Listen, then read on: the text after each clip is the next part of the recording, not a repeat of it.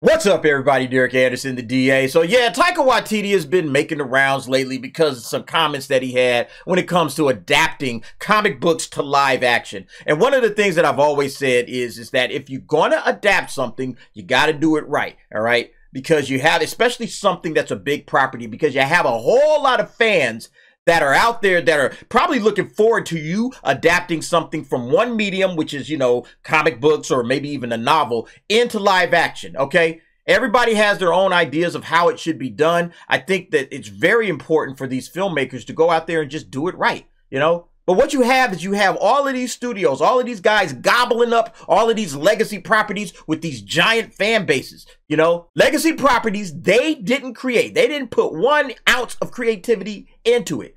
You know, I'm talking about like Disney buying Star Wars and Marvel, you know, Warner Brothers with DC. They didn't have anything to do with the creation of these characters. These characters have existed for decades and they want to turn them into movies. But the issue that I have with it, I don't have a problem with you adapting it, but then you want to go ahead and just run amok and just do whatever it is that you want to do. It's kind of like with Rian Johnson. That was the biggest problem with him. You guys remember these quotes that he was talking about last year? You know, when he was saying, oh, yeah, I'm still doing my Star Wars trilogy. Yeah, I'm sure you are. But it's quotes like this, quotes like this that let you know this is the problem with this cat. Uh, it would break my heart if I were finished, if I couldn't get back in that sandbox at some point. See, he sees this whole thing as just some giant sandbox. You know, he wants to go out there he wants to play on the playground, but he doesn't want to play by the playground rules. You know, it's like you can almost see this cat like working out and playing out his own head canon in the backyard with his action figures. It's like that's what this guy is doing. And that's what Taika Waititi is doing. Yeah, like he said here, if you want it to be exactly like the comic, read the comics. Like he doesn't want to stick to the script. Yeah, we want it like the comic. Maybe not exactly like the comic, but like the comic, okay?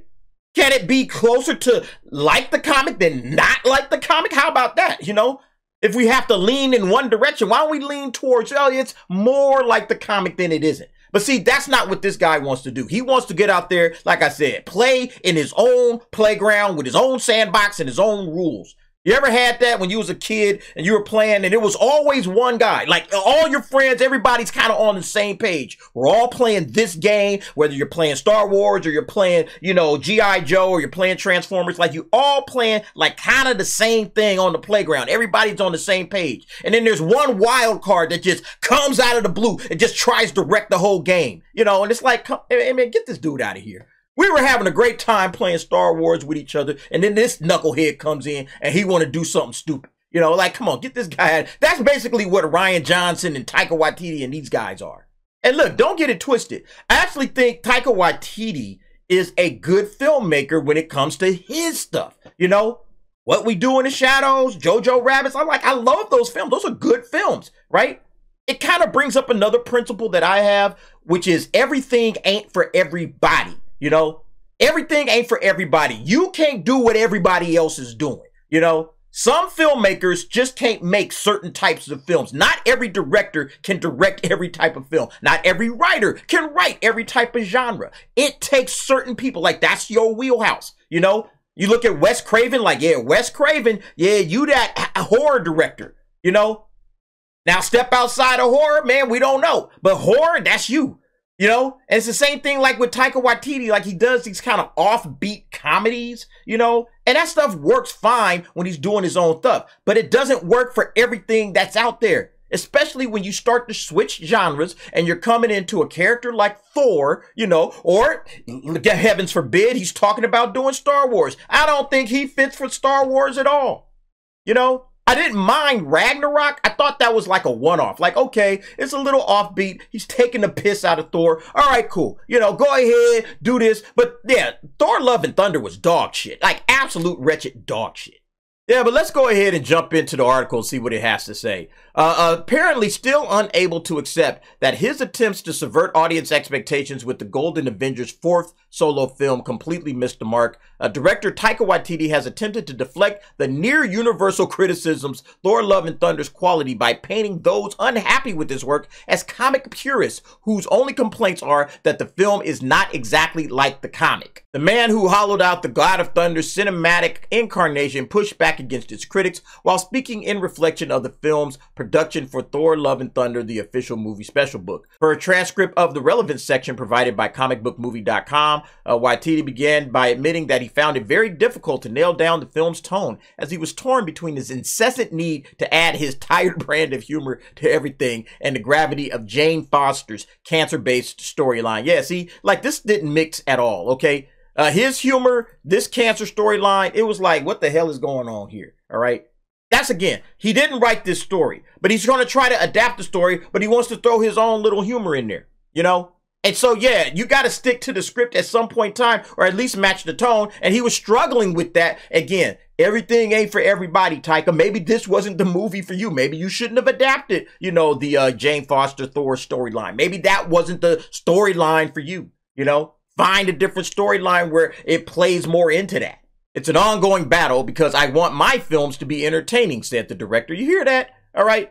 As if the storyline wasn't going to be entertaining without you, all right? Without your little brand of humor. And I want a lot of humor in them to poke fun, not only at the idea of the space Viking, but also to poke fun at humans, how we bumble our way through life on this planet. Yeah, again, see, that's what's entertainment to him.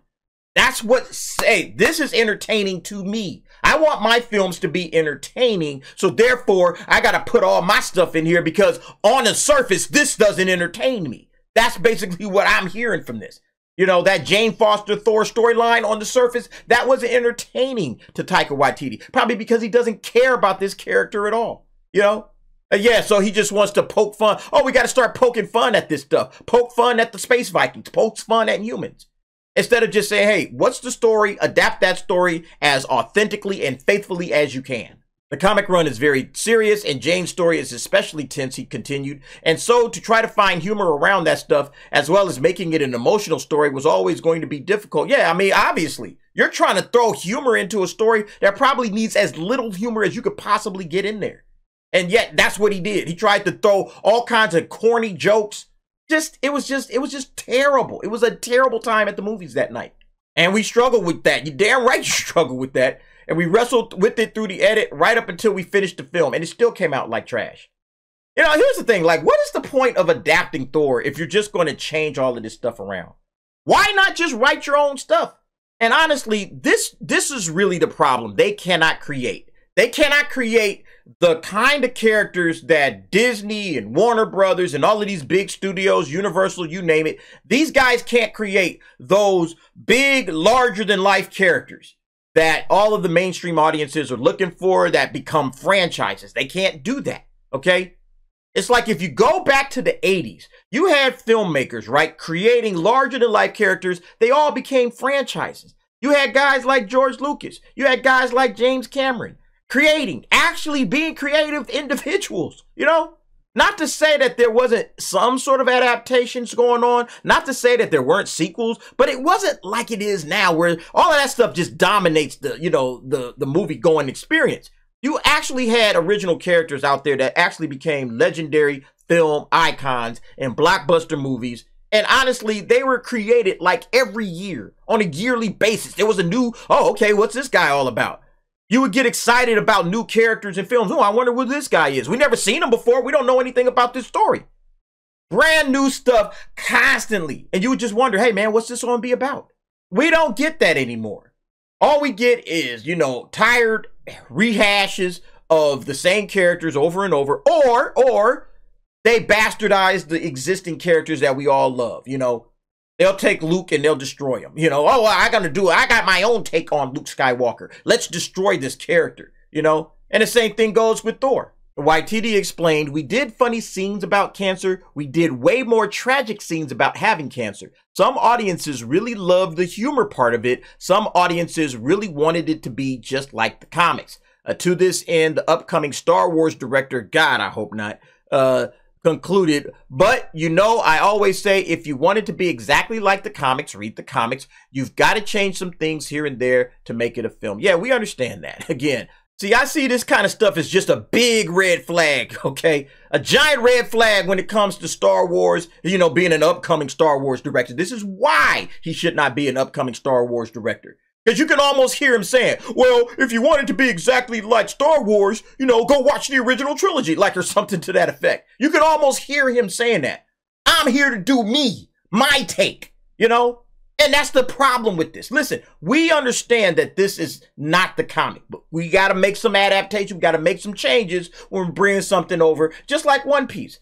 One Piece changed all kinds of stuff right? For the live action, they changed all kinds of stuff. From the I didn't watch, I didn't read the uh, manga. I did watch the anime. They changed all kinds of stuff. You know, there are certain slight little even character changes. You know, for some of the characters, they made some slight changes. I mentioned that on my review. I'll link that above if you didn't see that. But it still captured the essence. All right. They didn't deviate so far away from it that you didn't even recognize it anymore. And that's what this cat is going to do to Star Wars because he did it with Thor. It's like this is this ain't Thor. I don't know who this is. This isn't Thor. This is your version of Thor. You're the little weird kid running around where everybody else is on one page and you on a completely different page you know, and you want to make uh, Luke Skywalker a Wookiee or some shit like that. Like, we had friends that did that type of stuff. But that's what I'm talking about. Like, somebody on a completely different plane of existence. Like, nah, you don't need to be here. You've got to change things here and there to make it a film. Yeah, you have to change some things here and there, but you don't have to do these wholesale changes.